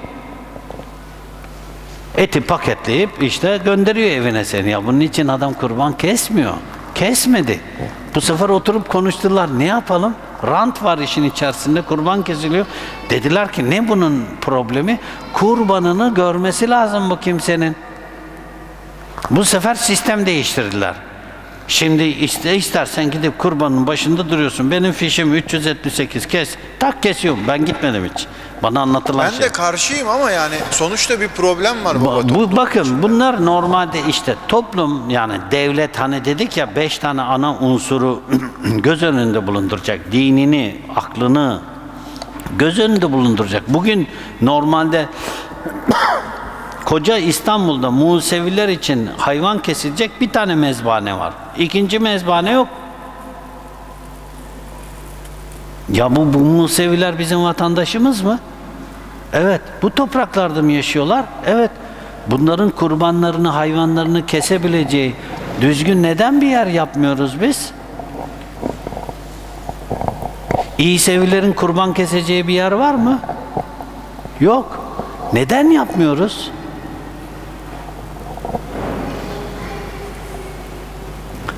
Biz şimdi kızıyoruz işte. Örneğin X market domuz eti de satıyor diyoruz. Kızıyoruz şimdi. Kardeş, domuz eti caiz diyen iyi seviler et yemeyecekler mi?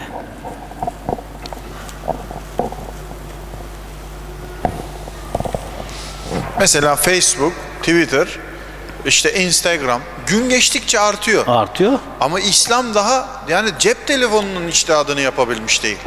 Ya bunlar iştahat yapılması gereken şeyler değil ki Ha, zaten. mesela 10 kişinin 9'unun aklındadır. Facebook acaba kullanmak iyi mi, kötü mü? Bakın İşte Instagram iyi mi, kötü mü? Güzel bir konuya değindin. Buradan başka bir şey açılım yapalım. Her meseleye iştahat edilecek diye de bir kaide yok. Çok affedersin oto çöpe de iştahat edecek değil ya.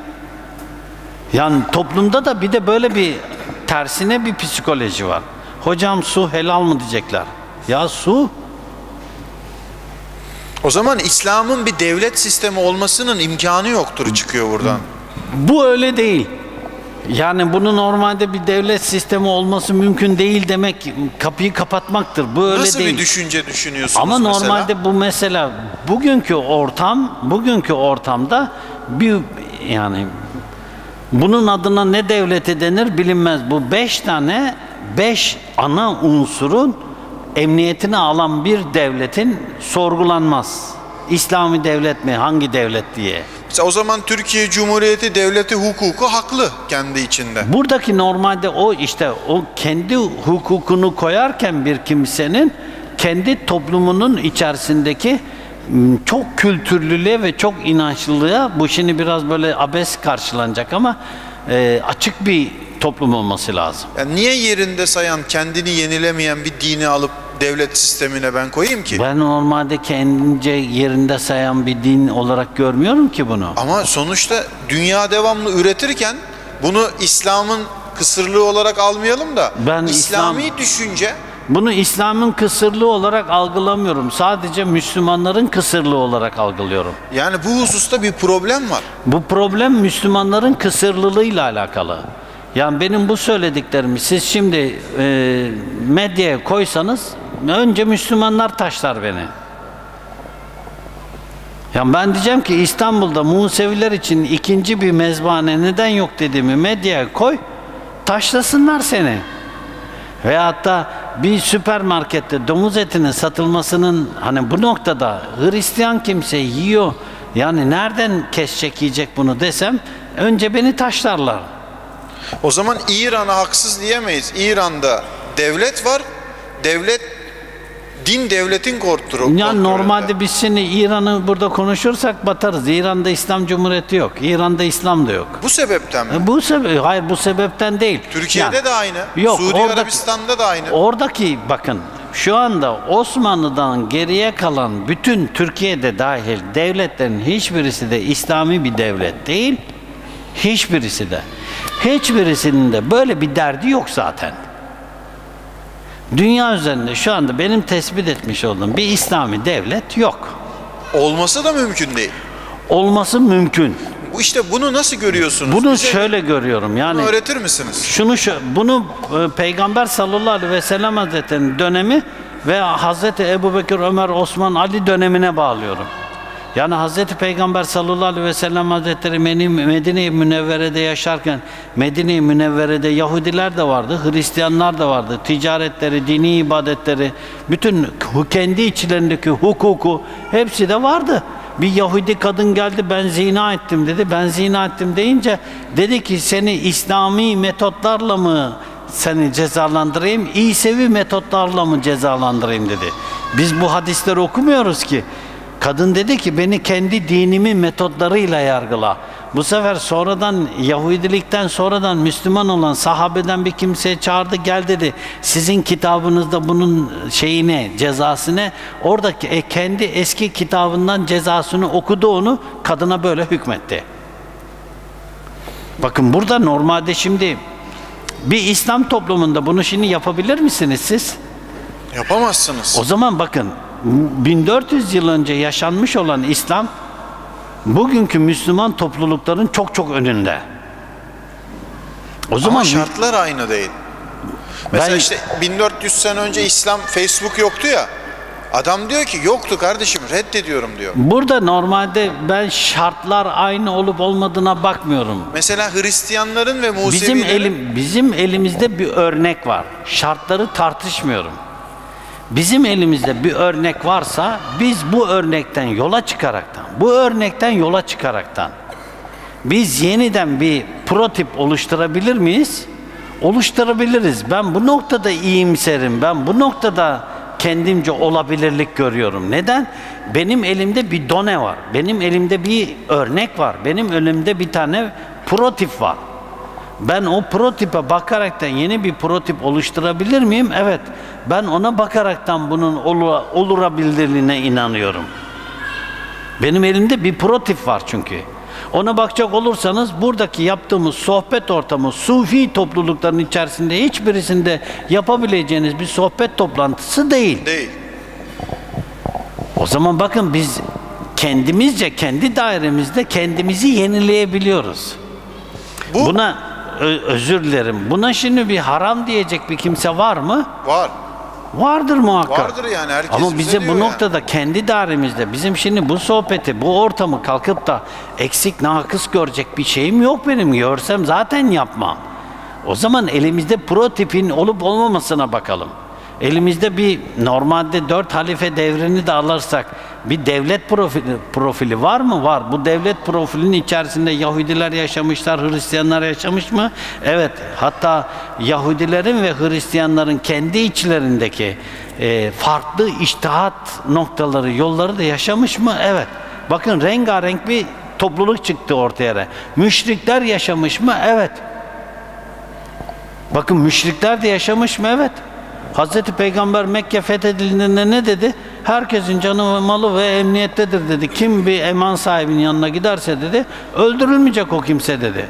Öldürülmedi hiç kimse. Müşrik öldürülmedi. Müşrik ama. Hatta daha ileri. Hazreti Ali radıyallahu anh hazretleri Mekke'ye hizmet eden bir aileden Mekke'nin anahtarını aldı. Hazreti Peygamber Efendimiz'e getirmek için aldı onu. O aile koşa koşa geldi dedi. Ya Resulallah sen ne biliyorsun ey Muhammed? Biz dedi ta İbrahim'den beri benim sülalem Mekke'ye hizmet eder. İbrahim'den beri. Damadın Ali dedi benden anahtarı aldı. Anahtarı aldı ondan ona verdi. Dedi ki sen müşrik. Sen dedi Mekke'ye, Kabe'ye hizmete devam et. Adam döndü. Muhammed'in adaleti bu mu dedi. Evet dedi. Muhammed'in adaleti bu. Emaneti ehline vermek. Hemen ayet-i kerime indi. Emaneti ehline vermeniz Allah'ın çok hoşuna gitti dedi. Ayet-i kerime onun yaptığını tasdik etti, destekledi. Şimdi siz bir müşriye Mekke'nin anahtarını verebilir misiniz? Bakın o 1400 yıl önce yaşanan din insanların renklerini, ırklarını, dillerini kendi sinesinde parlatan bir din. Ve o kimse o adaleti görünce eğer Muhammed'in ad- adaleti buysa, senin dininin, inancının adaleti buysa ben şimdi Müslüman oldum dedi. Ama biz din adına AVM'ye karşı durabiliyoruz şu anda. Ben din adına AVM'ye karşı değilim. Ben dünya ekonomik politikalarından dolayı AVM'ye karşıyım. Ben dünya kapitalist sistemine karşı bir kimseyim. Ben vahşi kapitalizme karşıyım. Vahşi kapitalizme karşı olduğundan dolayı mecbur kalmadıkça bir AVM'ye gidip alışveriş etmek istemiyorum. Bu vahşi kapitalizmle alakalı. Gücüm yetiyorsa, mümkünse bankaya bulaşmıyorum. Ticaret yaparken de bulaşmadım. Bulaşmamaya gayret ettim. Mümkün olduğunca kaçmaya çalıştım. Vahşi kapitalist sistemi karşı durmak, onunla mücadele etmek kendimce cihat olarak algılıyorum. Yani dini bir kavram olarak oturtuyor. Evet ben kendimce diyorum ki bu dünyayı vahşet altında tutuyorlar. Sömürüyorlar dünyayı. İhtiyacı olmayan bir şeyi de orada alıyor insanlar. İşte İslam'ın bloğu bu. Yani mesela Osmanlı da demiş ki bu bloktan dolayı devlet sistemini değiştirmişler. Değiştirmişler, yıkmışlar o yüzden bundan Yıkmışlar. dolayı yıkmışlar. Ama şimdi bir kimse gidiyor mesela aynı şey. Bir kimse gidiyor AVM'ye bir tane ceket alacak. Bir ceket alıyor, kandırıyor onu. Diyor ki bir ceket aldın 200 lira, 50 lira daha da 20 lira daha diyor alışveriş hakkın var. 20 liralık bütün mağazada bir şey arıyor o kimse. 20 liralık bir şey bulamıyor. Diyor ki bak isterseniz bu 70 lira. Diyor üzerine 50 daha verin. Ya ama buna ihtiyacım yok diyor. Ben de seyrediyorum yanda. Bak ben de seyrediyorum. Yandayım ben de. İçimden diyorum ki alacak şimdi bunu bu. İhtiyacı yok. Kadın 70 liralık pantolonu aldı. 70 liralık pantolon alınca ya gö- kulağım duymasa inanmayacağım. Dedi ki 10 liralıkta alışveriş çekiniz çıktı. 10 liralık kadın mağazada 10 liralık bir şey arıyor. Kadına 10 liralık şunu sun hani üzerine bu 30 lira bunu alır mısınız? Bunu 20 lira üzerine alır mısınız? Kadını mağazadan çıkarmayacak ya. Onun amacı kadını mağazadan çıkarmayacak. Soyacak kadını yani. Ya çıkarmayacak onu mağazadan. Bak mağazadan çıkarmayacak onu. Kız kardeşim daha açık konuşayım. Ramazan'da iftara gittik ona. O da kalkmış işte bir tane çanta almış bana böyle deri çanta. Bir tane abim olmuş. Birer tane de gömlek almış bize. Açık açık konuşayım işte. Hiç haberim yok benim. Gittik iftar ettik filan.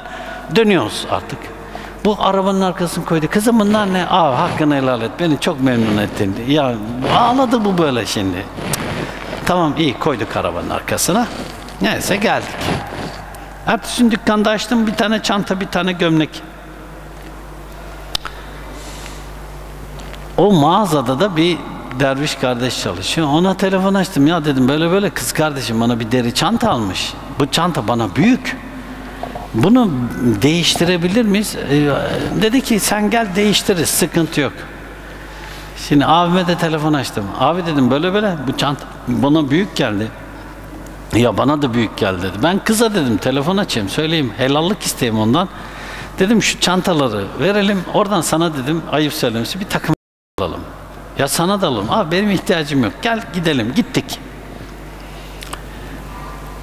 İki tane çanta hesapladı. İşte Ayıp söylemesi geçmiş gün 300 kusur lira iki çanta. Zaten gözlerim açıldı benim o çanta 300 kusur lira. Benim kullandığım çanta 25 lira. Bugün elime aldım çantayı içeri girdim 27 liraya aldım. Deri. 170 liralık çanta kullanacağım. O çanta benim omuzumu aşağı indirir. Mümkün değil. Neyse gittik işte abime dedim ki abi seç bir tane takım elbise. İşte dedim hangiler indirimde? Bende de öyle bir hastalık var ya. Ben indirimde olmayan bir malı asla almam hayatta. Ticaret yaparken de almam. Almam. İsterse daş olsun, baş yarsın almam. Yani almam. Biri, ben sıfır araba almam. Hatta derim salak parası yok bende derim. Almam. Hayatta almam. Abicim sen bize indirimler neredeyse onu göster bize. Dedi ki burası indirimde. İyi. Kaç para bir takım elbise? 299 lira. Ama bir takım elbise alırsanız ikinci takımı da 100 lira veriyorsunuz. Bak oyuna bak şimdi. Yani dedim ben 299 100 lira daha verdik 399 400 liraya iki takım mı alacaksınız dedim ben şimdi. Dedi ki 400 liraya iki takım alırsanız 100 lira daha bir alışveriş çekiniz daha var. Onu aldığımızda ne olacak dedim ben. Onu aldığımızda ne olacak? İşte şu ön şimdi aldık bir takım aldık şimdi bir takım daha aldık abime iki takım aldık. 100 lira daha verip bir şey daha alabiliriz. İşte takım olur, ayakkabı olabilir filan. Bizimki ayakkabıya gidiyor. Kulağına eğildim oğlum ayakkabıya gitme bir tane daha takım elbise al dedim. Ya onu da sana alalım. Ben almayacağım dedim. Ben sana geldim. Al bir tane daha takım. Yok ben ayakkabı alayım o zaman dedi. Ayakkabı aldı 100 liraya. Biz şimdi normalde çıkarken normal şartlarda 500 lirayla çıkacaktık. Değişim yapmasaydık. Kapitalist sistem sattı mı bize onu? Sattı. Sattı. Sattı. Kapitalist sistem bunu sattı. Vahşi. Ama böyle de bir gerçek var yani. İşte vah. Bununla O- mücadele yolu onu reddetmek mi? Evet bunu vahşi. Bunu ne yapacak? Ey Davut uyanık ol. Ben gidiyorum şimdi bir şey alacaksam ben. Örneğin ben alışveriş merkezlerine gitmiyorum. Tamam ben bir şey alacak olursam kendimi kilitliyorum. Mustafa Özbağ bir tane gömlek alacaksın. Git bir tane gömleği al çık. Onu da zaten alışveriş merkezlerine gitmiyorum genel olarak. Çarşıda bir sürü tanıdığım esnaflar var. Gidiyorum hepsi de ne hürmet ediyorlar ne hizmet ediyorlar. Kendilerine de diyorum sakın fazla kazanacağım diye uğraşmayın. Millete alışveriş merkezlerine göndermeyin. O yüzden burada millete karşı alçak gönüllü olun, yumuşak olun. İnsanlar AVM'lere gitmesinler diyorum. Ben onların vahşiliğine karşıyım. Başka bir şey değil. Şimdi Aybe İnşaat Aybe Şimdi gelse bir kimse bir odalık senden kalebodur almaya kalksa sen ona iki odalık kalebodur satacağım diye uğraşıyor musun? Uğraşmıyorsun. Adam geliyor metreyle geliyor öyle değil mi? Diyor ki adam bana 7 metrekare kalebodur lazım. Ya senin 7 metrekare kare, bo- kalebodur alırsan 3 metrekarede kalebodur benden demiyor ki. Bu mantığa karşıyım. Anlatabildim mi? Gidiyor ay ay- bir kimse inşaat malzemesi alacak. Gidiyor alıyor oradan çıkıyor. Kapitalist sistem sana senin ihtiyacın olmayan bir şeyi O zaman sana- AVM'ye karşı değiliz biz. kapitalist sisteme karşıyım ben. Benim AVM ile ne alış be, alışveriş hür İslam'da. Ben kapitalist sisteme karşıyım. O zaman karşı olduğumuz şey israf. İsraf, İsraf. ihtiyacı olmayan bir şey alıyor adam. Anladım. Orada işte eee, Kaptırıyor kendini, bak, o eğitim yok. Dini bir altyapı çıktı mesela şimdi. İsraf haramdır. O Bitti. yüzden. Ama Dini bu noktada dini eğitimi yok tam. Dini eğitim olmadığından dolayı kendince israf ettiğinin farkında değil. bu en son Cumhurbaşkanı da aynı şeyi söyledi sizin söylediğinizi. Ama tabii daha yeni onu görüyorlar. İsrafın dedi önüne geçersek dedi Türkiye ekonomisi şahlanır dedi. İsrafın, şimdi ekonomik olarak dediniz ya. Şu anda aileleri yıkan şey israf. belki Ben de- şimdi bir sıralasam buradan kaçar tane ayakkabınız var diye yıkılır ortalık.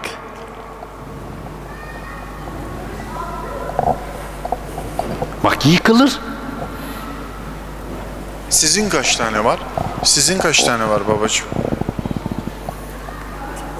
Şimdi sizin kaç tane var deyince benim normalde kışlık ayakkabım vardır, yazlık vardır. Ben de normalde bir tane kahverengi, bir tane siyah kışlık vardır, bir kahverengi, bir siyah yazlık vardır. Ben de yaklaşık şu anda e, işte bot botu e, saymazsan kışlık ve yazlık olarak dört tane beş tane ayakkabım vardır.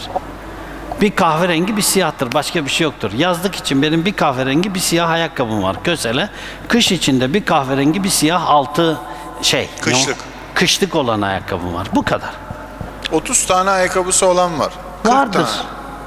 tane. 50 tane var. Vardır. Beni ilgilendirmez. Benim şimdi şu anda normalde kendimce mesela bunu şunu söyledin diye şey yapıyorum. Şimdi diyorum ki bir tane siyah ayakkabı almam lazım. Hani günlük giyeceğim ayakkabı yok.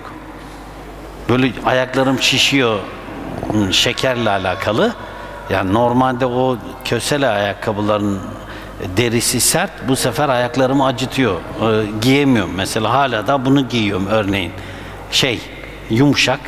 Ondan sonra ayağım şişince de bir sıkıntı olmuyor. Benim böyle bir sıkıntım var.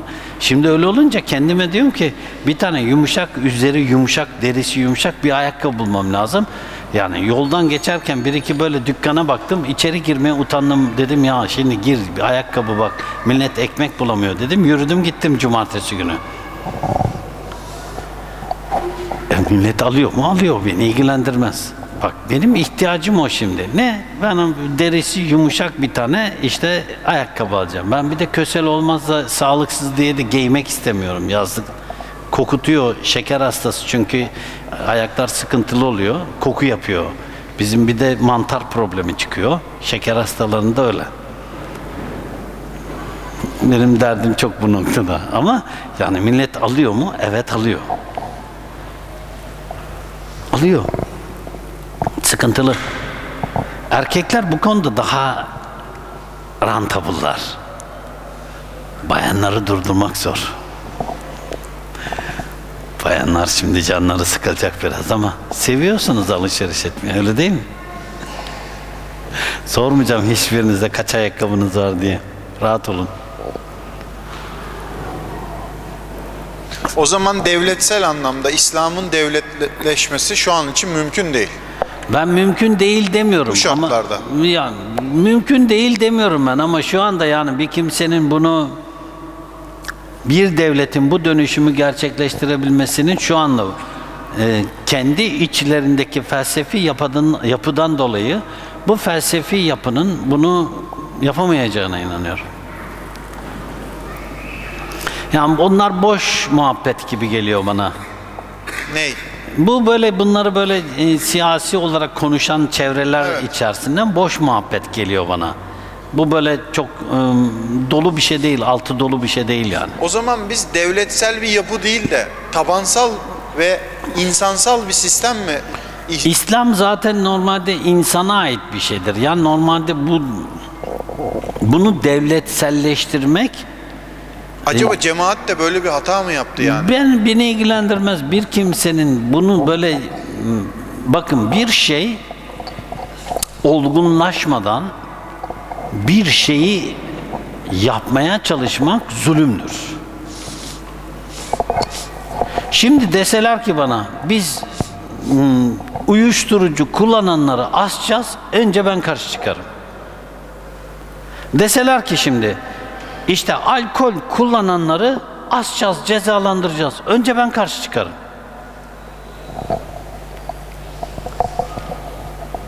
Sebep?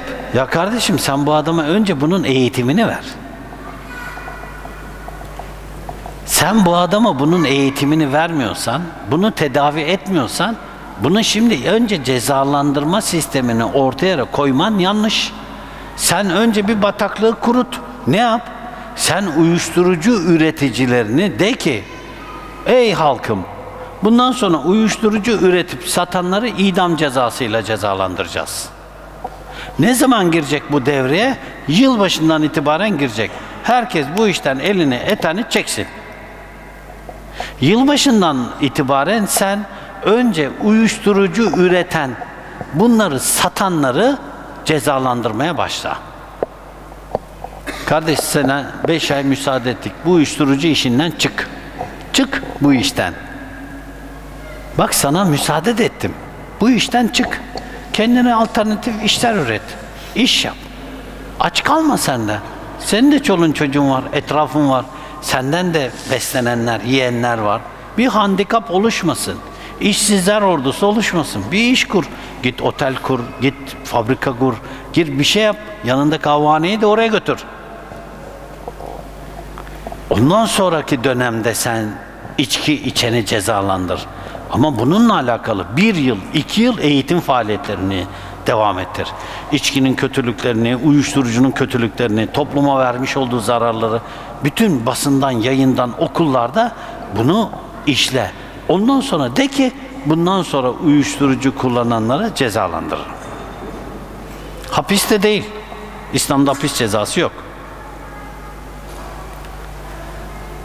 Örnek.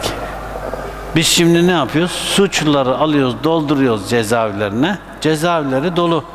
Herkesin vergisinden, herkesin kesintilerinden cezaevinde biz teröristi, uyuşturucuyu, tacizciyi, tecavüzcüyü, hırsızı bakıyoruz. Biz bakıyoruz.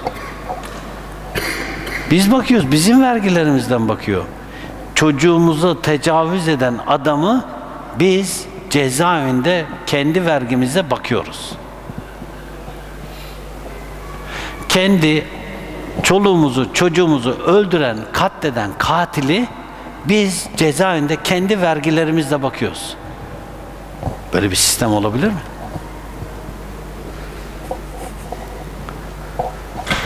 Böyle bir sistem olamaz. Şimdi o geçenlerde Antalya'da mıydı bir kadına kıza tecavüz etti, öldürdü. Antalya'da mıydı? Nerede? Antalya'daydı değil mi o? 3-4 ay önce. Antalya taraflarında oldu ya. Bir minibüs şoförü. Hatay. Hatay'da mıydı? Mersin, Mersin. Mersin miydi? Bir minibüs şoförüydü. Efendim? Mersin. Adam kıza tecavüz etti, öldürdü mü? Öldürdü. Nerede şimdi? Cezaevinde. Kim bakıyor? Devlet bakıyor. Biz bakıyoruz. Biz bakıyoruz. Bizim vergimizden, ben istemiyorum benim vergimden tecavüzlü, cani, katil bir kimsenin bakılmasını. Başında gardiyanı var mı? Var. Ranzası var mı? Var. Televizyonu var mı? Var. Lan adamın rahatına bak sen şimdi. Kimileri cezaevinde yatmak için suç işliyorlar. Ayrı mesele. Adam rahat mı şimdi orada? Rahat. Rahat adam. Ölen öldüğüyle kaldı mı? Kaldı. Tecavüz olmasıyla kaldı mı? Kaldı. Haydi pamuk ellerce ve bütün vatandaşlar normalde bu noktada vatandaşların vermiş olduğu vergilerden o katil ve tecavüzcü olan kimse orada geçiniyor mu? Geçiniyor. Onun için hakimler, savcılar, polisler, jandarma, devletin bütün unsurları ayakta mı? Evet. Onun bir tansiyonu yükselse, tansiyonu değişse, dev, e, ne o hastanesi, doktoru, hemşiresi ona hizmet edecek mi? Evet. Ya katil ve zani, cani bir kimseye hizmet ediyoruz.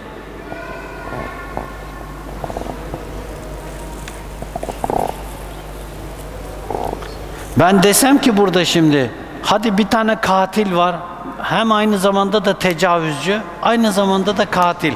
Bir kıza gencecik bir kıza masum bir kıza tecavüz etti ardından öldürdü. Pamuk eller cebe yardım edelim dese kim yardım edecek burada? Kimse. Ama yardım ediyorsunuz. Ediyoruz.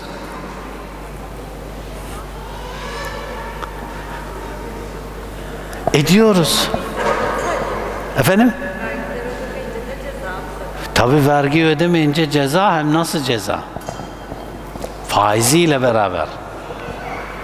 Biraz daha ödemezsen hacize geliyor. Hacize geliyor.